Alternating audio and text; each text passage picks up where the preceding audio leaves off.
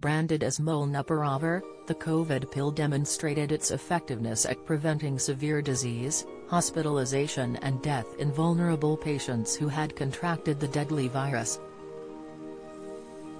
There were 775 adult participants involved in the research who were considered higher risk for severe COVID disease. These participants had underlying health issues, such as obesity, diabetes, and heart disease, and all had a mild to moderate reaction to an infection from SARS-CoV-2, the coronavirus. Among those who took a placebo pill to treat the COVID infection, 14 1% were either admitted to hospital or died within 30 days. Meanwhile, only 7.3% of those who took molnupiravir followed the same fate.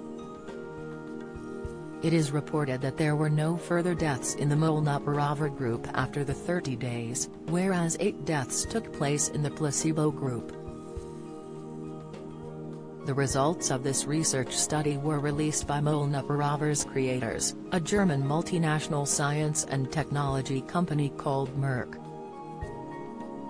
Merck partnered with Ridgeback Biotherapeutics to create this new COVID pill. The study's results are yet to be peer-reviewed, but the researchers have very high hopes for their invention.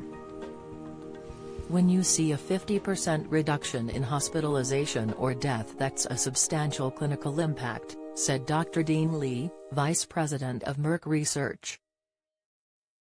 It exceeded what I thought the drug might be able to do in this clinical trial, Merck plans to present its findings at a future medical conference, and if it is authorized for use worldwide, it could be a major advance in medicine. How many people has COVID killed in the UK?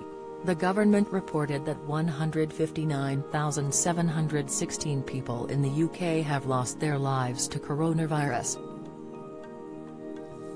In the week ending Friday, September 17, there were 1,049 deaths due to COVID.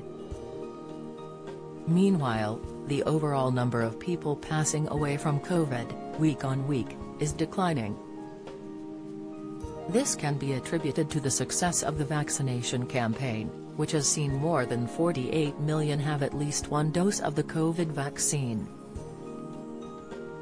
While no vaccine is 100% effective, COVID jabs have been proven to reduce the risk of severe disease, hospitalization, and death from coronavirus.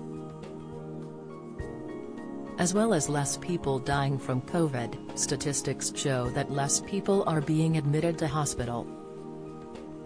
Such positive results remain in the face of increasing COVID infections now that restrictions have been lifted for some time.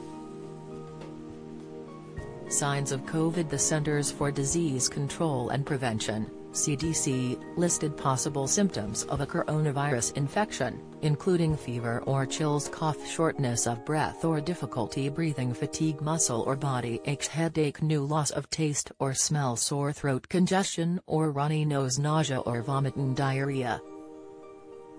Anybody experiencing signs of COVID are recommended by the NHS to take a free rapid flow test.